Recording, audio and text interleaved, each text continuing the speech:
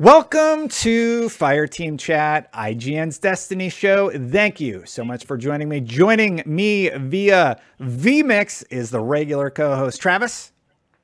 McClunky. And our very special guests, Aztecross and Kujay. Aztecross, Kujay, how's it going today, you guys? Good, man. Good. Glad to be here. Really good, man. End of another good week. Good Friday. Hell yes. Uh, on today's show, we are going to be talking about all sorts of fun stuff. We're going to be talking about we're going to be talking about the the PvP situation, what's going on there. That's the whole reason you guys are here. We're going to be talking about the delay. We're going to be talking about uh, what it's like playing as a new light player and some other fun things planned for the show today. Thank you guys again for joining us. Well, seeing it is uh, Aztecross and Kujay, you guys are PvP guys. Aztecross, it was really funny. We were both making a PvP focused video uh, very recently. Why don't you just let the people know what is your main challenge with PvP? And you said a lot of those points you came to after talking with Kujay. So just take us through like where your mind's at with specifically trials in the PvP sandbox. Oh man, how many videos have we dedicated to this, right? And, and it and it's been over years, but um, so I throw a lot of hail marys when it comes to sandbox and uh, when it comes to doing things with trials. And and Kujay's kind of the guy that he kind of like captures those hail marys and tells me, all right, that doesn't sound good. That sounds pretty good. No way in hell that's going to work. Uh, but we started doing, I guess, a state of the Crucible video. I want to say back in Trials of the Nine just like a yearly video and just talked about how how the state of Crucible is, and then that transitioned to trials, where it was like state of trials, and then now what was supposed to just be a yearly video is turning into a seasonal video, and but there's just a lot of stuff you got to do to trials to make it um, make it right for everyone, not just for like you know your hardcore PvP players, but uh, e- even your casual players, especially PVE guys. And Kujay, do you have any thoughts on uh, the state of everything? uh, that's uh, a very, very open-ended question. I just uh, thanks us, for putting it's me called a softball.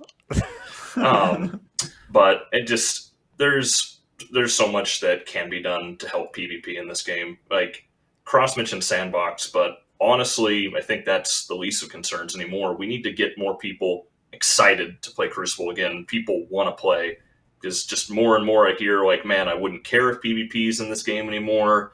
Like there are too many cheaters. The rewards aren't good enough. Like we we need to get people excited about Crucible again because it just doesn't feel like that's there. Let me so right. Travis, you play a bit of PvP. How, how are you feeling about it? We, we talked about it last week a bit, but how, how are you feeling about everything too? Yeah, I mean, I mean, I, I think I, I talk about this every time we bring up trials, but my I play on console, so obviously cheaters are the biggest problem if you're on PC. But for me as a console player, the biggest problem is the fact that nobody wants to play the activity because it's not rewarding, right? Like masterwork materials aren't a reason anybody logs onto trials. And Destiny 1 had adept weapons, which are arguably the best reward any player could ask for, getting uh, elemental effects in their in their uh, primary slash kinetic slot. And I think that if we had something like that, it would who wouldn't play trials if that's the only way that you could get adept weapons? I mean, really, that that alone would fix so many of the problems. It wouldn't fix the cheater problem on PC, but for you know console mm-hmm. players like me, it would it would absolutely make everybody want to play that mode, probably weekly.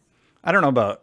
So you're saying all adept? I don't know how to say the word. Weapons would be in trials only.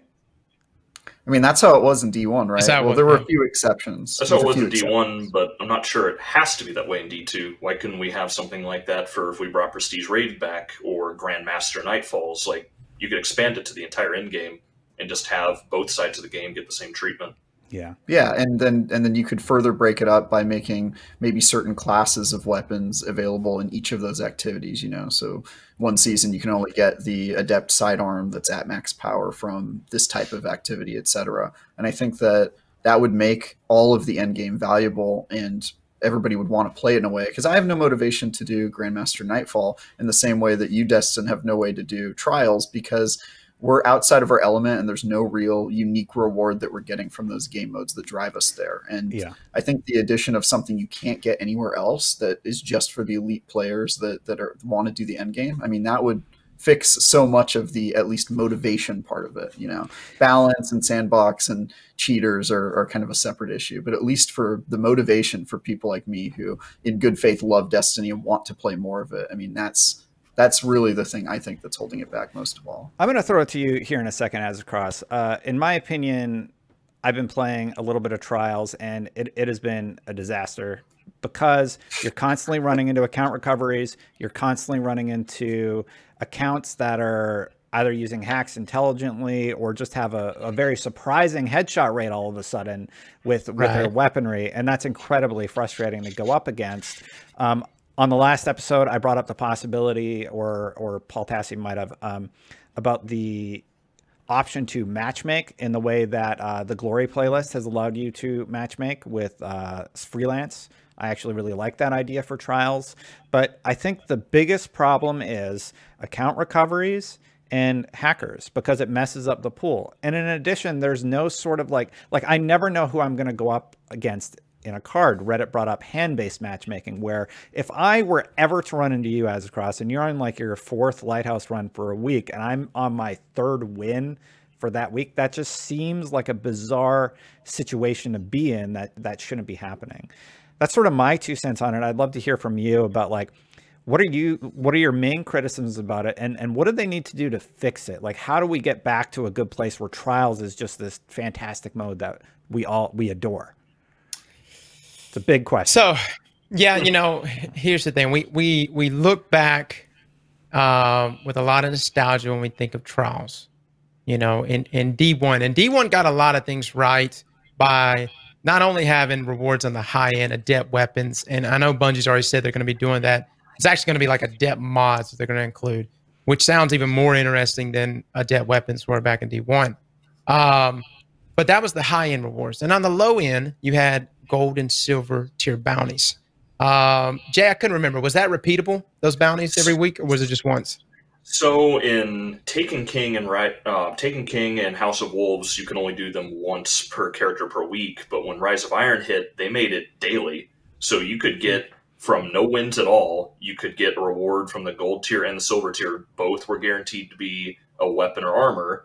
If you Right. did that all four days, that's eight pieces of loot and then three characters. That's twenty four pieces of gear Right. Is- from is not it- even a single win. It's a, it's a Ludapalooza compared to now, where you get one bounty per character and you know exactly what it is when the week starts, and that's it. diving into that are you guys surprised that they made such an adjustment to limit the loot pool during a season where we have so many umbral engrams that it's it's filling up your your postmaster basically like why do you think they made that that decision and uh, do you wish they'd revert back to the old one Um, I, they made that decision on that front because they don't have adept weapons yet. You know, you can't hand out what's essentially the flawless rewards for these these bounties left and right. Um, so yeah, they need to expand the loot pool more. Jay brought it up a few weeks ago when we made our state of the trials video that the old trials of the Nine weapons should should flow into this. You know, the- these are all very good weapons. You give them random rolls, fantastic, but you got to have adept portions of them to to have them people seek them out on the flawless end. You gotta you gotta have all you gotta have loot raining that's good and worth it for people who are in the zero to three win category, so they have reasons to play. Eh, But then you also have to have loot that's exclusive to the people that are able to get to five wins, seven wins, and all the way to the lighthouse.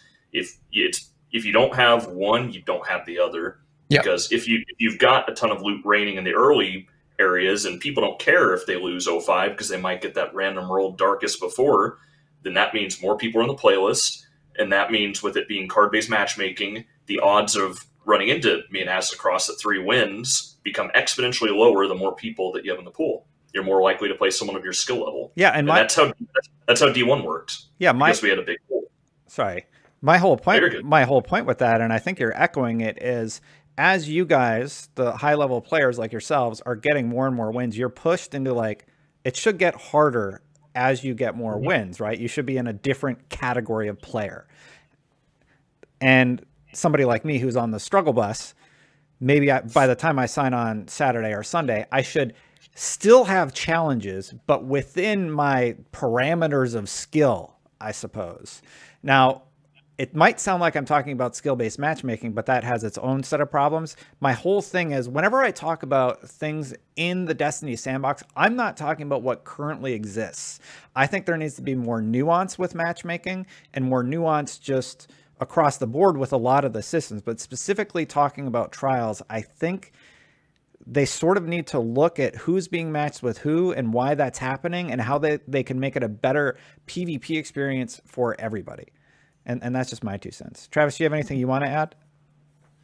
Um, I mean, you mentioned matchmaking, which I think I, I, we know we talked about it uh, last week a little bit, but uh, I think matchmaking on trials is like a mistake and and uh, definitely not the thing that's going to fix trials right now, right? Because people already don't want to play it who are the type of people who would LFG for it and that sort of thing, or have existing groups. Even even those groups don't want to play. But uh, I don't know if we want to get into that now, unless unless anybody really feels strongly well, about, well, about a debate on that. Let's take the matchmaking component out of the conversation and just say like regular trials, the way it is right now. How how would you adjust it? How teams are getting matched to be a better experience? How teams are getting matched. Mm-hmm. So I think the problem is that there's just not enough players in the pool. I think if you if you match people with the same the same point in the card that they're at, I think that's a fine model. But the problem is that because there's no motivation to play trials and the play pool is so small, you're you're you know nine times out of ten, especially on PC, you're going to get somebody who's cheating or an account recover, somebody who's just way out of your league in terms of PvP. So I think the solution is really to make trials more desirable and more right. playable to get more people in there because then there's going to be you know a free market of lots of different skill levels all playing and, and you're not going to be you know nine times out of ten getting matched with somebody who's just like the ultimate sweaty tryhard which mm-hmm. right now that's the whole player base everybody mm-hmm. who's playing that's what's left that yeah yeah exactly. They, uh, in the the token changes bungie made this season are exacerbating that issue because the way it works now is you don't even get a token if you lose. You get nothing. You literally get nothing if you lose. And so after that three win reward, because and we needed to stop the token farming and early early in the card because that was a massive problem to driving people away. But now, if you can't get to at least five wins, say you're on a mercy card, you have to get five wins once to get a wealth card. That means you get one token per win, and you get a payout of five at three. So you could go and get four wins and then ruin your card with like three losses plus the mercy gone and you would end up with nine tokens for like eight games of potential misery and you didn't even unlock a wealth passage like like you're not going to play that and it's it's just yeah. making it worse this this season in particular I, I, will say that's basically been my experience i, I have mm-hmm. gotten to four wins and then mm-hmm. you just get kicked the crap basically at that point because you either end up against an account recov, and it's usually obvious if you look at their card, and this is like their third trials game ever, and they're hitting every single headshot flawlessly and just doing crazy things that somebody with a low PvP score has. It's like you can just look at stats and, and make yeah. a determination, right? Um, and that's really, really unfortunate. I'm surprised you guys haven't, because uh, you were really passionate about the hacker problem and the account recovery pro- problem in your video if you're like me, you've probably said your two cents on it. So you're kind of like, I'm just going to say the same thing. It's terrible, right? Is, yeah, that, is yeah. that still your take? Uh, for sure. I mean, look, the integrity of the game, uh, when when it's at this state, you know, I think every game deals with hackers, right? Uh, especially FPS games. But, you know, we do have an issue with recoveries. And I know guys that do recoveries, you know, and, and I know I'm, I'm, I'm attacking piggy banks right now. But you know, don't lie to yourself. It does hurt the ecosystem. Now we talk about matchmaking. We want to change matchmaking and, and maybe add like a solo portion to playlist or or uh, allow for easier matchmaking for casuals. You can't really do that because the moment you include that, recoveries are just going to get stronger. And so that mm-hmm. that's that's what happens when you include that. That's why Bungie hasn't really included that because then you know recoveries are just going to just kick up even more. Now, I mean, how do you stop recoveries? I mean, I don't know. I mean, that that's people say it's TOS, you know, terms of service getting getting hit there, but um, it's it's on every one of my videos. Every every ad that pops up is a carry service. It's not just PvP; it's PVE as well.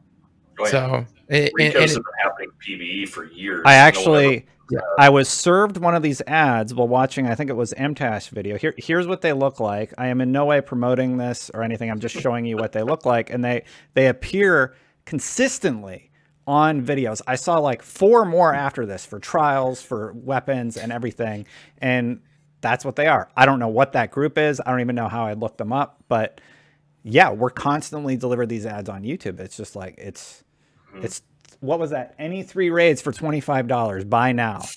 It's just Right. bizarre to me. It's bizarre to look, me. those that ads, thing. those ads aren't cheap either. You know, No. they're, Yeah. they're pulling money. They're pulling money for Oh, sure. there must be. Mhm. but but now it's infecting everyone because organically somebody that's just trying to get in there and play trials for the first time and, and i think the best time that trials ever was was when it first came out you know i never i never saw any of this one there wasn't really any cheating when trials first launched back in house of wolves and no one was really doing recoveries back then or at least to my knowledge and so that was the best i think trials ever was and i'm not even talking about sandbox i'm just talking about from an integrity standpoint now Mhm. though I I made a video where I said I don't know how people can go flawless at this point in Destiny. I just don't know how because you run up against the sweatiest of the sweat, cheaters, or account recoveries.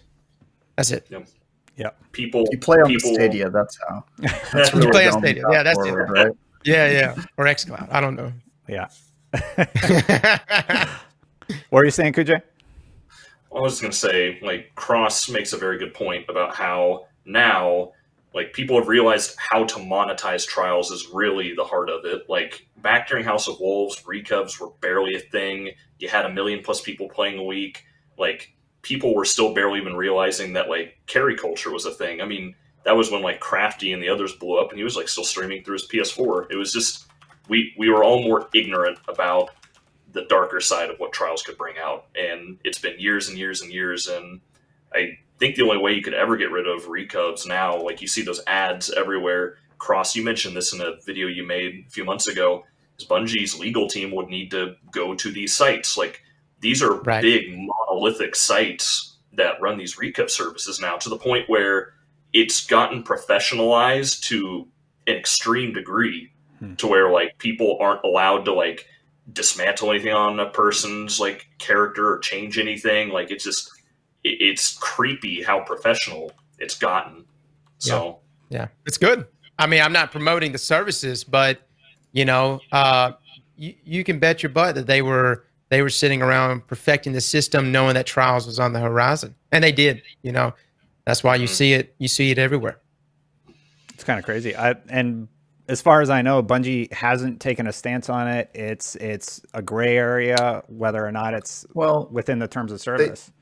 they have. It's it is against the terms of service, and I think they've said that. I just don't know if they know how to enforce it. Right? Like, Yeah. how do you how do you monitor that sort of thing? Do they flag accounts that are logging into a bunch of other accounts? You know, I, I just I don't know if there's like a, a solution to it, but I think they have said that like, yeah, it's It- technically not allowed. I did it is it's against their terms of service but they've never truly enforced it not that aspect Yeah, basically you're logging in. This means that like if I ever logged into a friend's account and just did some random thing, it would be equally punishable as an account recovery would be. So it's got to be a Cool. really difficult challenge for Bungie to figure out what to do with it. I I think maybe the financial transaction is like the kicker there. I thi- right? yeah. Like, Yeah. yeah The fact they're profiting able to off make of Bungie's money. game in that way yeah. That- so that's why i think going after those big those big sites that facilitate thousands of recovs is the only thing bungie can really do Right. they, they can't go after people on a case by case basis but if they shut down the organizations that facilitate easier recovs getting them done faster recovs would always still exist but they'd be pushed back down to the bottom and a lot less relevant and frequent i think that's the only thing they could really do is go after the big websites that promote it Yeah. So yeah, I, I think honestly, I, I would be willing to bet that there's a reckoning coming in for those services because of the the damage to the PvP mode. It's been really unfortunate as somebody that loves Trials of Osiris. When I first played it back when you guys were talking about House of Wolves, we or I was able to go out to Bungie, play the mode, and I was like, holy crap, this was before battle royales were like huge. It nothing like this was out there. It was this Right. this cool mode where you had to get to seven wins, and only then you got the cutscene, you got to go to the lighthouse, you got this coveted, awesome looking gear, and it was just a tremendously positive experience, and and it was excellent.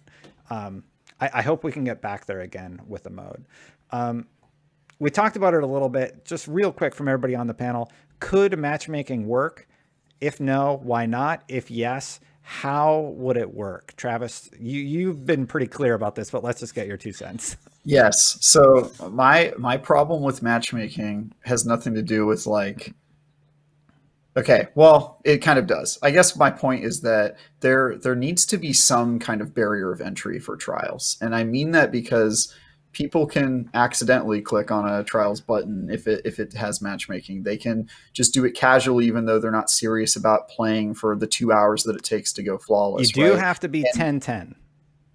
You have to be 10-10, right? So there's there's one barrier of entry, but I, I think the issue for me is that L, doing an LFG is essentially a matchmaking. People have pointed that out many times, but LFG is a barrier of entry. It requires you to post or respond to a post. It requires you to talk to someone. It usually requires you to get on a mic because people are going to force you to do that. None of that is enforceable through a automated matchmaking system. They can't force you to put on a microphone. But like if I'm matchmaking in trials, which I probably would never use the service because it, it sounds like it would be a terrible experience. But if I was, I would really assume that everybody on it is going to be serious and send me a party invite and that sort of thing. And I just don't see that happening in a match made. So for, for me, it's, I think the best path forward is put an in-game LFG, put some sort of way where players can kind of match in the world and set up their own groups before launching. But in, I, I, I think that there needs to be some sort of in-game barrier of entry that says,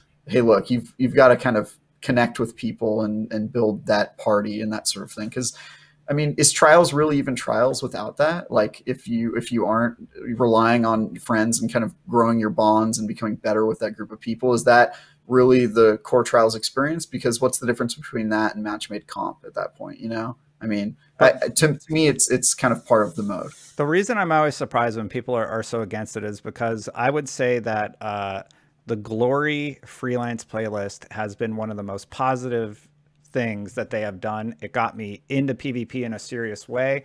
I didn't have to like struggle to find a group. I didn't have to LFG to find a group. I didn't have to put callouts on Twitter. Like I'm basically like constantly like, all right, I want to go to the lighthouse. I need that hard carry. That sucks. For the first time, I had a way in the game to not have to do that. I could play casual in the freelance playlist, and my skill level was like paired with other people at about my skill level. And I really, really enjoy that mode. It doesn't always go perfect, but it's probably one of the, the best systems I've seen. So that's been my experience with playing in a match made glory ranked playlist. And, uh, It, and I, I think uh, to to I, I think I actually agree with you. I, I like it. There are some comp people who don't like the freelance playlist because it kind of made you know getting unbroken a joke and stuff like that. Mhm. There's there's plenty of people like that, but I I actually like it. The difference is that trials is a seven match journey or more. And that That's you kind of have to find a group that's willing to go through that whole thing, and who's gonna, in a match made way, agree to a two hour, you know, period of time, and and you know, and it, what if you if if it changes every match then you risk uh, you know getting on match five mixed with a group that you're just not gelling together and then it falls apart. So the only options are the chaos of match to match matchmaking which doesn't make a lot of sense to me or matchmaking someone who's going to agree to stick around for an extended period of time. And that doesn't seem feasible. Yeah. so I, I just think the mode's very different it introduces a whole new set of challenges is what you're saying if it Yeah. were to be implemented uh, Aztecross what's what's your thought going down the, the panel here on uh, matchmaking and trials could it work yes or no Uh, you know, I kind of wish there was a way to hybrid it in a way that you don't split the playlist, kind of like how Glory is um, in the comp playlist. Instead, you, I don't know, I, I almost want to merge solo players matched up against other players in, in matchmaking. And what I mean by that is there a way to possibly make the card shorter for for folks that are going about the playlist solo? So you know seven wins with your your team of three from start to finish or you can do i don't know maybe four wins as 100% solo jay we haven't even talked about this. I'm just I'm sitting there just spitballing right now, thinking about this. But can you imagine just going? in? Because obviously, it's more difficult to play as a solo player, right? You don't know who you're going to be matched. You may be matched with with young gods, or you may be matched with potatoes. You know, you don't know. But if you somehow scratch four wins up against three stacks, because you don't want to split the playlist. You don't want to have one solo playlist and and then uh, other trial matchmaking, kind of like how comp is, because then we're going to have an, an even bigger issue where the population gets cut in half. And so, if there's a way to incorporate the two, but simultaneously make it more rewarding for the solo player that does struggle and get the wins, could be could be something. Yeah, for some insight there, I just want to elaborate and uh, uh, strengthen your point there. Trials of Osiris right now, going to warmind.io slash activity. Uh, it is being beaten by dungeon runs today, Nightfall, Gambit, Story, Raid, Strikes, Crucible, and Patrols. Like patrols are just like open world activities. Uh, the only thing being played less are Menagerie, private Crucible games, Forges, Heroic Adventures, Nightmare Hunts, and Reckoning. So Trials of Osiris is like pretty dang low population wise, and that's across that's on every platform. It's worse, of course, on something like Stadia. Mm-hmm. Yeah, yeah.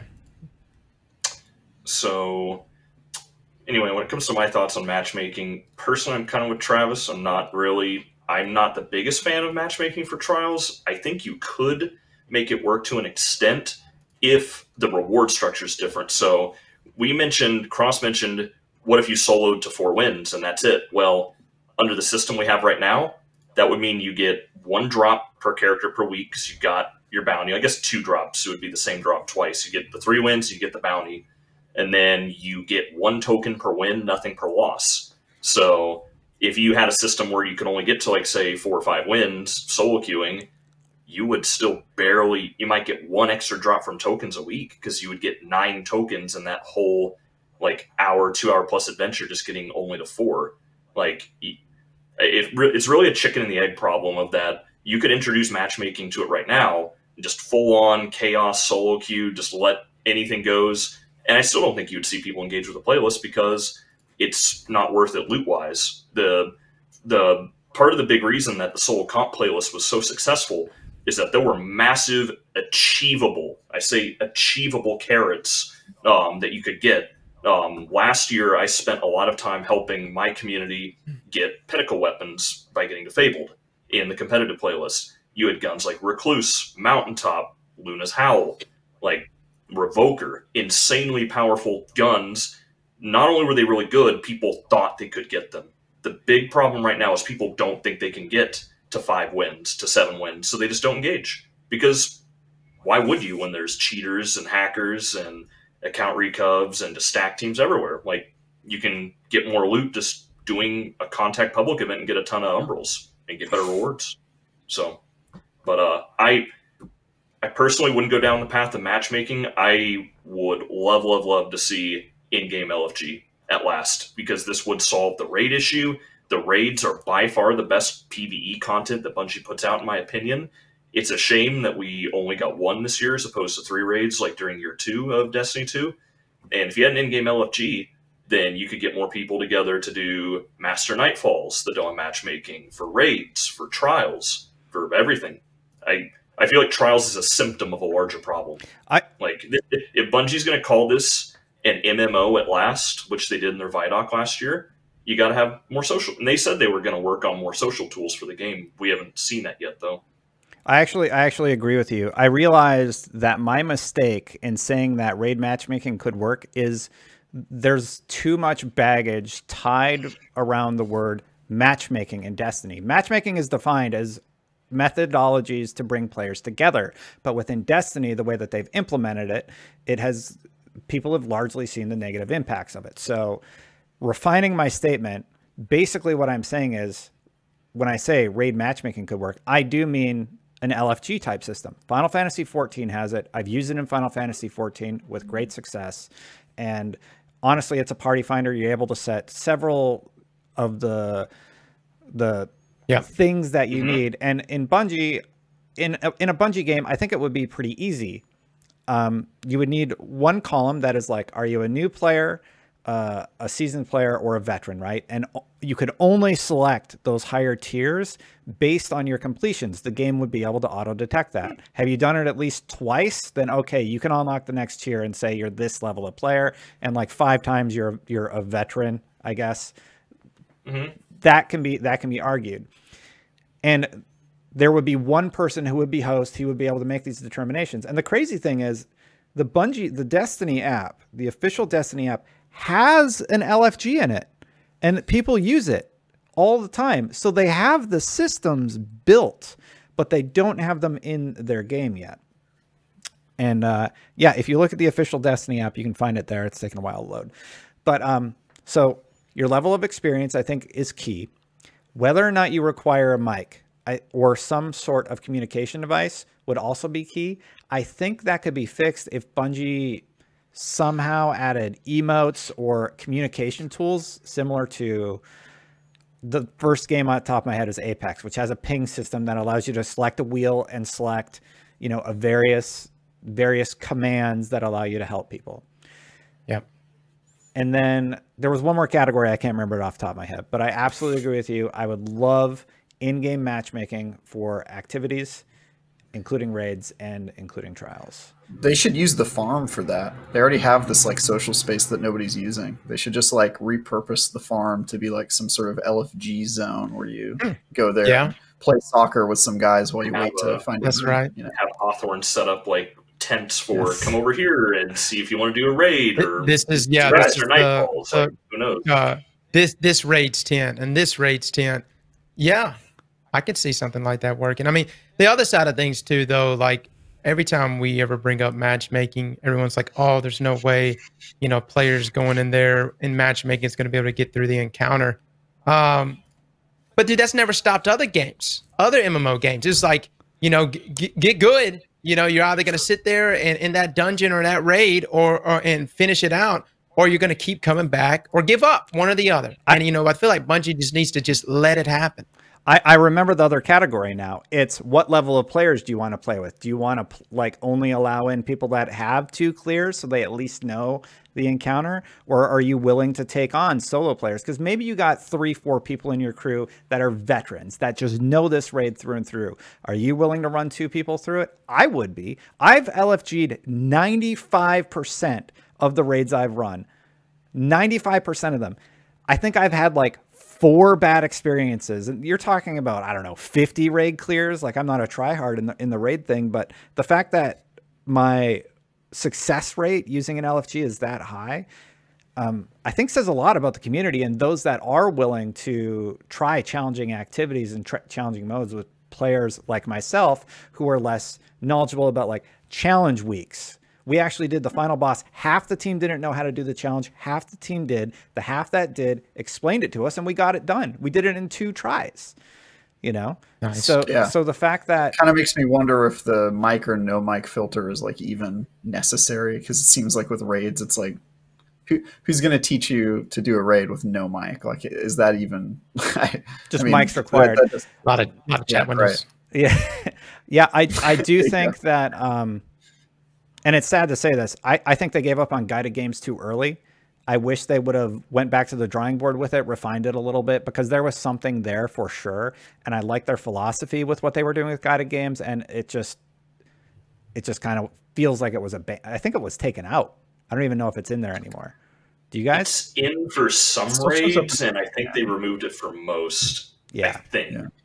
yeah. So anyway, that's my two cents on raids. We're kind of going on a tangent. Before we move on to like just the news about the delay and everything, do you guys want to have any final points about PvP Aztecross Kujay? Not Travis.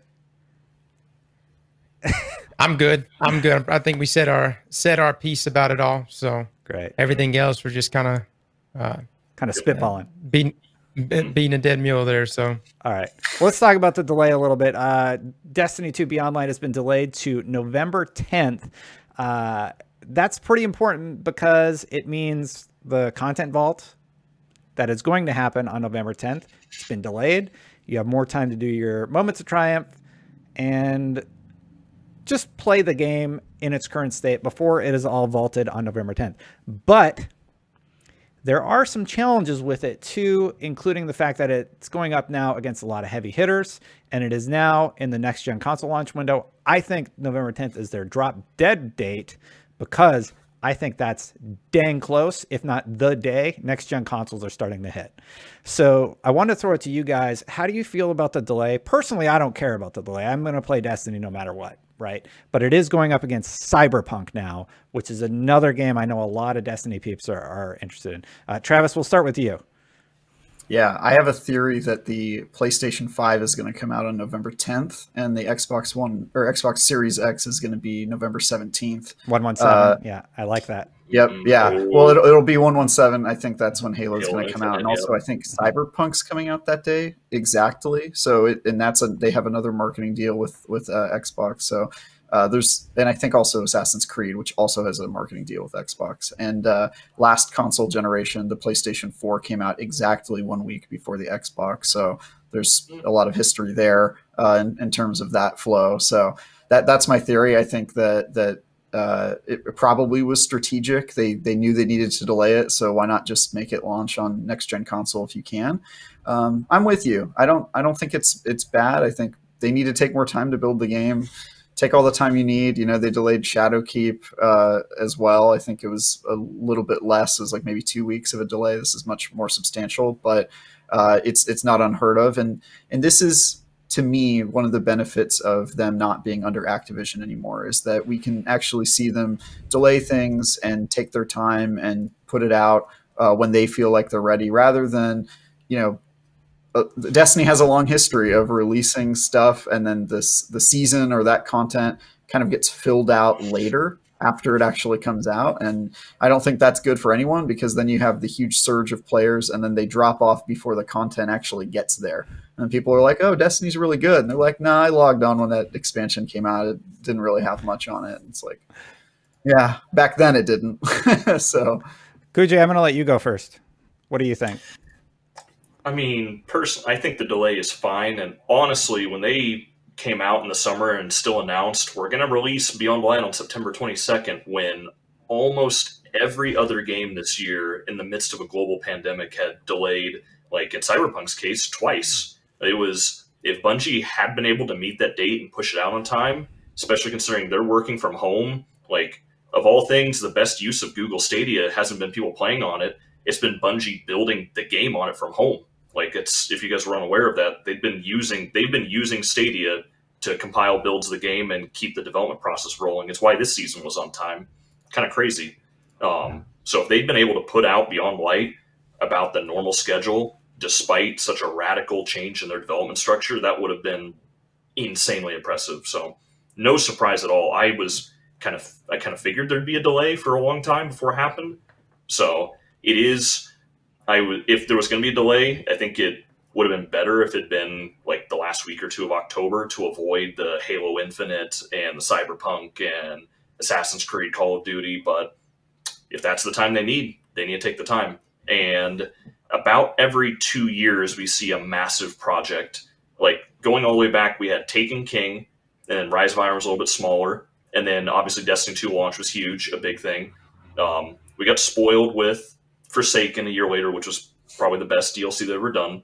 Last year was kind of small with Shadowkeep, so I'm expecting a huge Forsaken, close to a level DLC in the fall. So they need take take all the time you need.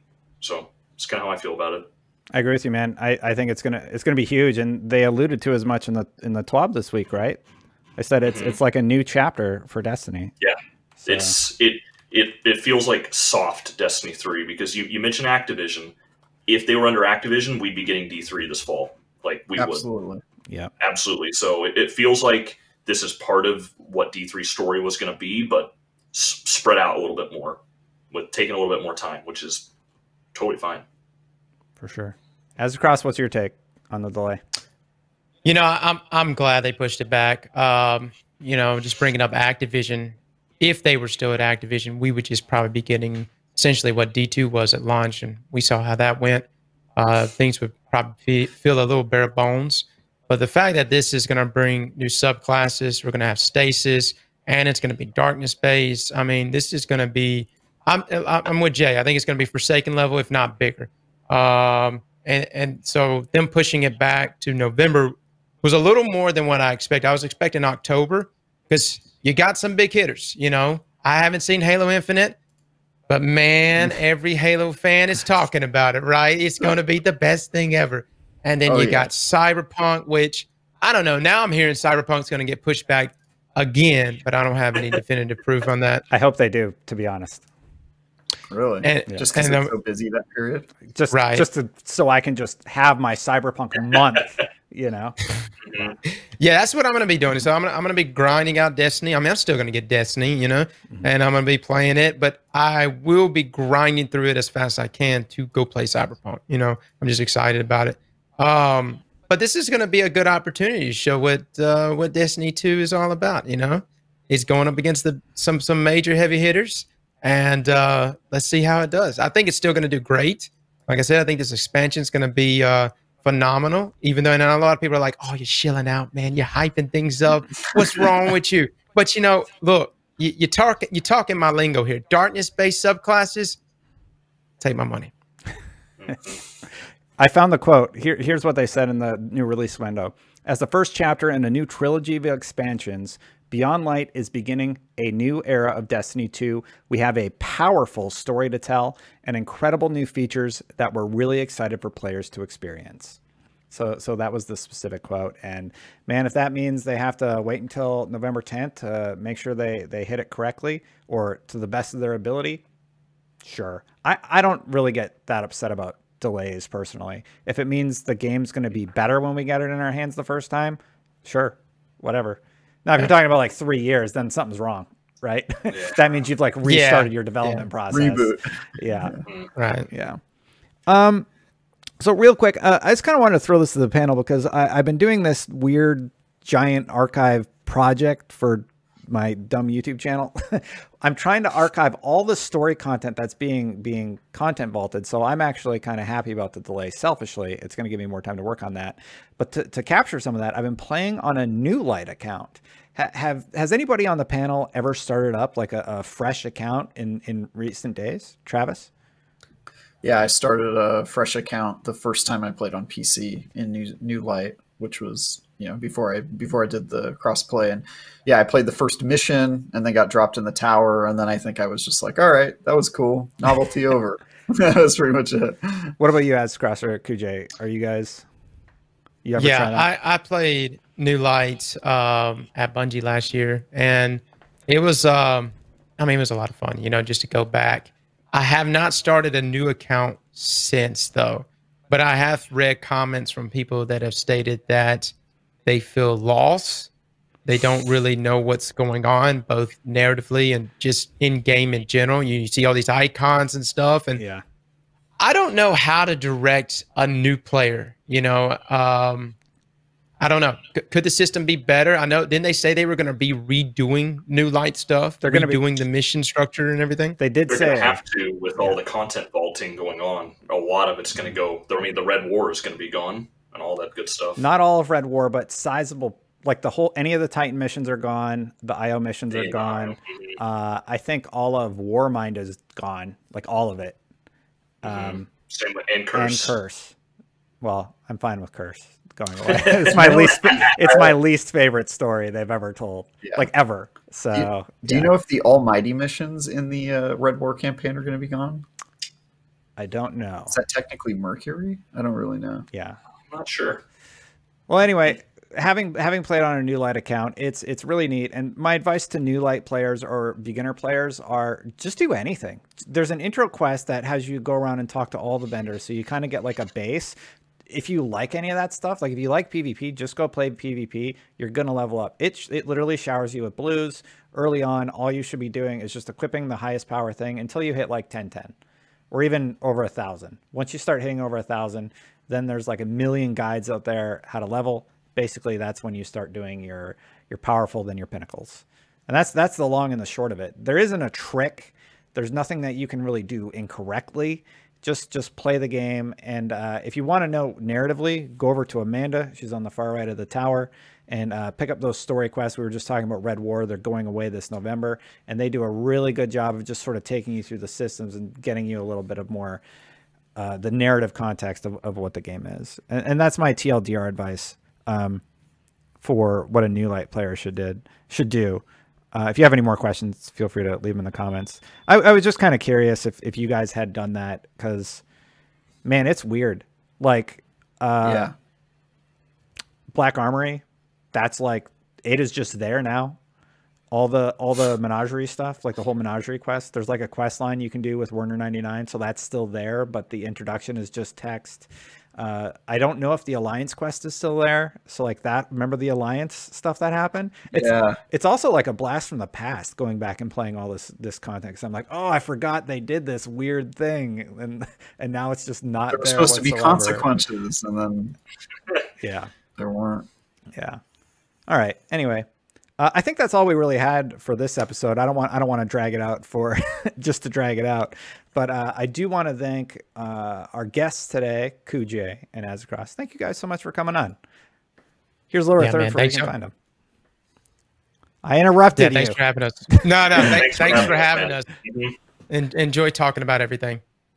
Absolutely. Heck It was a good time. Yeah, thanks, guys. All right. Well, that's all we have for this episode, everybody. And I'm definitely not doing a production thing on the side here. Okay, there it is. That's all we have for this episode, everybody. So until next time, Guardians Guardians out. wow, we nailed it. Perfect.